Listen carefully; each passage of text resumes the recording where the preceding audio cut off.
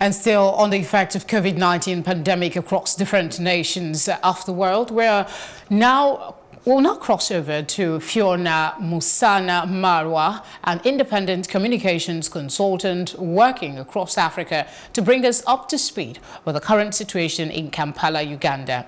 Good to have you join us, Fiona. Thank you for having me. Good Uganda, which is so, so what is happening where you are right now? Uganda has been, and it's going to continue in April. Uh, from we do have 55 COVID-19 cases. We are grateful so far that there have been no reported deaths. Over 6,000 people have been tested. We also have about 800 people that are under institutional quarantine. What we can say is under the pres- under the current president Museveni and the Minister of Health, Uganda is really taking the right steps to contain the, the COVID 19. Um, how confident are you in these steps that are being taken? Are they adequate uh, from your assessment so far? Uganda's had an amazing uh, record when you look at the way uh, President Museveni handled and his team handled the HIV AIDS pandemic.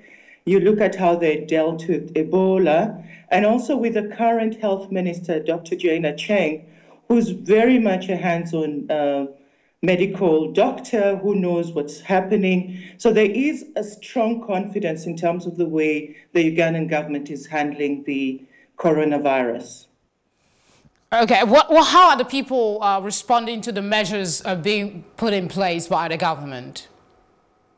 Generally, we've sort of, uh, from my assessment, the fact that we cannot travel, you're contained. I live in Kampala, you cannot travel to another district. So, generally, there is, we've accepted that this is what happens. This is what needs to happen for us to contain this disease. The fact that we do have the president speaking to us maybe every four, three, four days is helping people ease people's um, tensions, anxiety. But that said, the fact that Ugandans, over 60% of Ugandans rely on subsistence farming, they rely, you know, daily living, we don't quite know what will happen to us maybe in another three weeks. So the, there's going to be need to make sure that people's anxieties are calmed down. Okay, um, there's a global um, uh, race to find a vaccine for the uh, virus. Do you know if there are there are any moves in uh, that country for um, from the scientists towards this purpose? As far as we're aware, uh, I'm part of a, I just mentioned that, part of a media group. Uganda's, again, the journalists, communicators are all part of a, a, a WhatsApp group. As far as we're aware, that's not really happening now. We're relying on what's happening internationally. We're following WHO. I will see with one of our scientists, Professor Maswa, who's really backing the movement to support WHO. So back to your question, I don't quite know whether we have anything happening now, but we are following the international lead. All right, thank you very much for joining us, Fiona, on the news.